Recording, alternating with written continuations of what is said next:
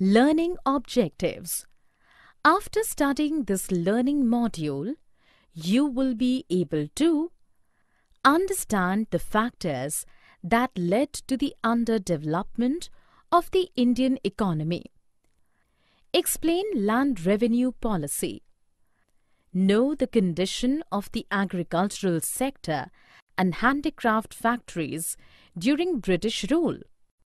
Explain foreign trade policy of British government. Understand demographic condition and the existing infrastructure of India.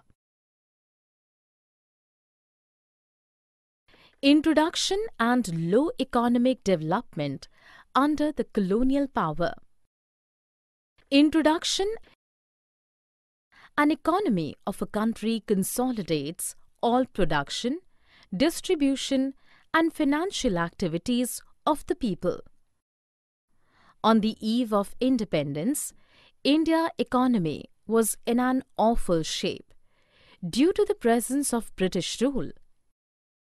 The Britishers generally made the policies and rules that favored England economy and rapidly develops his industrial sector.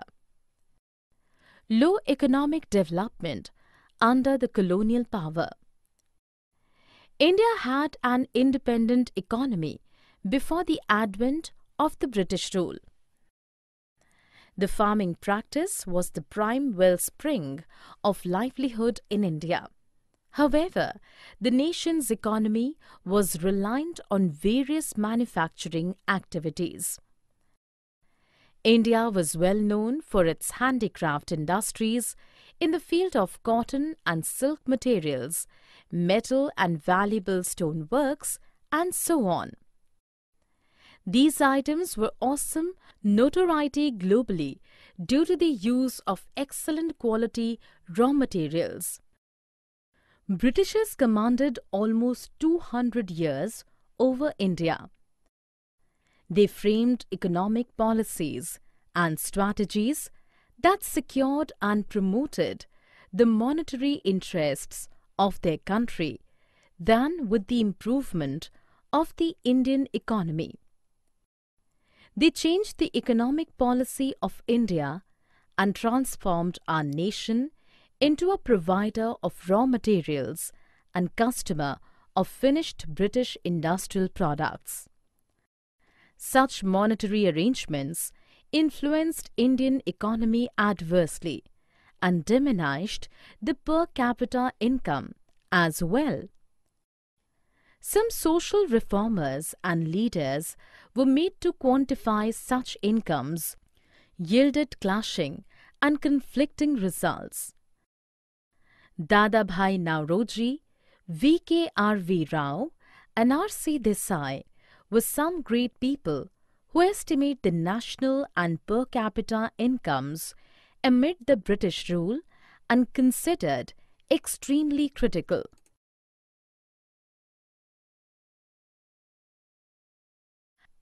Agricultural and Industrial Sector Agricultural Sector Agriculture was the prime source of livelihood in India during the colonial rule. More than 80% of the Indian population was lived in villages and reliant on agriculture directly or indirectly. However, a huge mass of the population was being dependent on agriculture. This sector was confronting stagnation and unusual deterioration due to the following reasons. Less productivity. The agricultural productivity was very low. This led to the minimum benefit even used of the wide area under cultivation.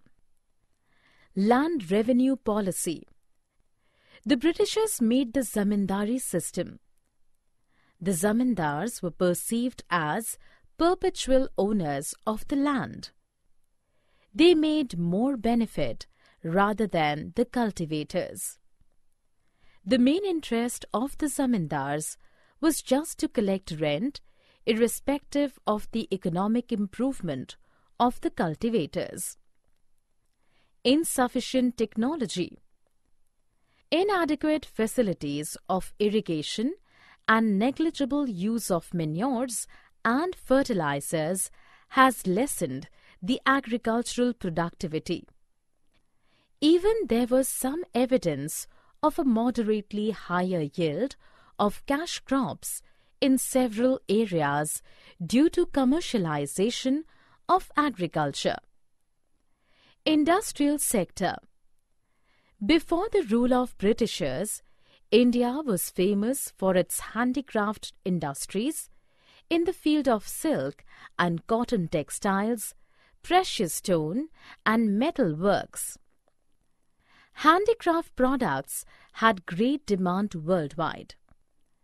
But the colonial government followed a deindustrialization policy and offered higher prices to the Indian peasants for cash crops. This policy has transformed India as a supplier of raw material and a consumer of finished products. It increased unemployment in India and the country became the importer of modest manufactured products from Britain. Amid second half of the 19th century, modern industry indicated slow upliftment. Subsequently, the iron and steel industries began coming up at the beginning of the 20th century. The Tata Iron and Steel Company TISCO was set up in 1907. Some other industries in the fields of sugar, cement, paper, etc., introduced after the Second World War. Another noticeable drawback of the new industrial sector was the restriction of the operational territory of the general population segment. This division was limited only to the railways, power generation, communications, ports, and some other departmental endeavors. Foreign trade and demographic condition. Foreign trade.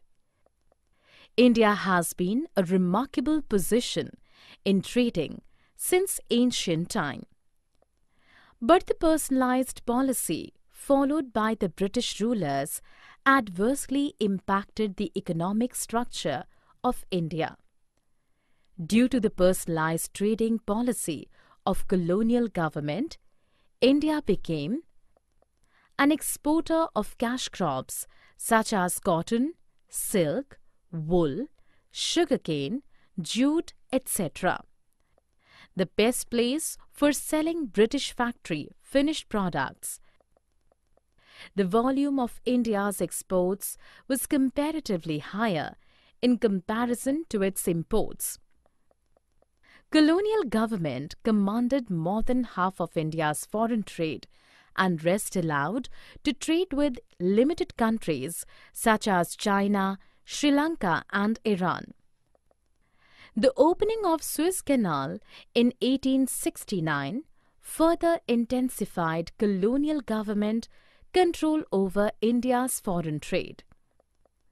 A considerable point of foreign trade during the British rule was the production of huge export surplus. This surplus ruined the country's economy. Several daily needs, such as food items, clothes, kerosene, were not available for common people in the domestic market easily.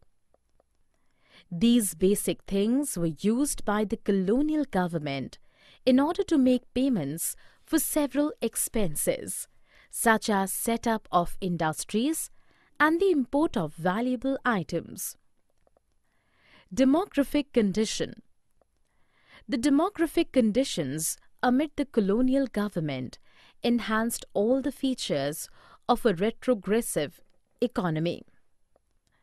Various insights about the population were first gathered through an evaluation in 1881. Before 1921, India was in the first phase of demographic changes. The year 1921 is depicted as the year of Great Divide.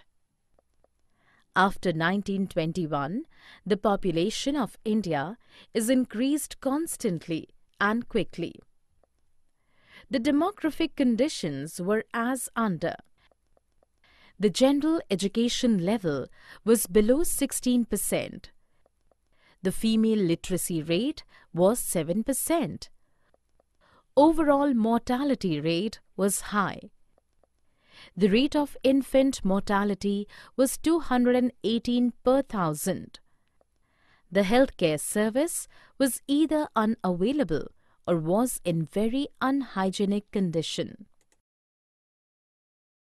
Occupational structure and infrastructure Occupational structure Amid the colonial rule, the occupational structure of India displayed its backwardness. The agricultural domain accounted for the biggest workforce, which typically stayed at a high of 70 to 75 percent, and the manufacturing unit and service divisions represented just 10 and 15 to 20 percent respectively. There existed a developing regional disparity with few states, for instance Odisha, Rajasthan and Punjab, seeing an expression in the agricultural workforce, while the states Maharashtra and West Bengal witnessed a decrease in the reliance of the workforce dependent on the agriculture sector. Infrastructure Constructed roads in India preceding the colonial rule were not suitable for modern day transport. The roads developed primarily just for the purposes of mobilizing the force inside India and transporting raw materials from the countryside to the port or closest railway station for trading different spots. The British government introduced railways in India in 1850 it is considered as one of the finest contributions of Britishers. The railways influenced the structure of the Indian economy adequately as it helped individuals to break land hindrances and promote commercialization in the Indian agriculture as well. The colonial government also introduced air transport services in 1932 by introducing Tata Airlines. Modern postal service began in India in 1837. The primary telecommunication framework line was opened in 1857. The service of electric telegraph system in India particularly filled for the purpose of maintaining law and order. Summary Let us summarize what we have learned in this module. An economy of a country consolidates all production, distribution and financial activities of the people. India economy was in an awful shape amid the presence of colonial rule. India was a remarkable place for its handicraft industries in the fields of cotton and silk materials, metal and valuable stone works. Britishers framed economic policies and strategies that secured and promoted the monetary interests of their country then with the improvement of the Indian economy. Although the huge mass of the Indian population was being dependent on agriculture, this sector was confronting stagnation and unusual deterioration due to less productivity, bad land revenue policy, and insufficient technology. The Tata Iron and Steel Company, TISCO, was set up in 1907. The personalised policies followed by the British rulers adversely impacted the economic structure and India became an exporter of cash crops and the best market for selling British factory finished products. During colonial rule, the agricultural domain accounted for the biggest workforce, which typically stayed at a high of 70 to 75 percent, and the manufacturing unit and service divisions represented just 10 and 15 to 20 percent respectively.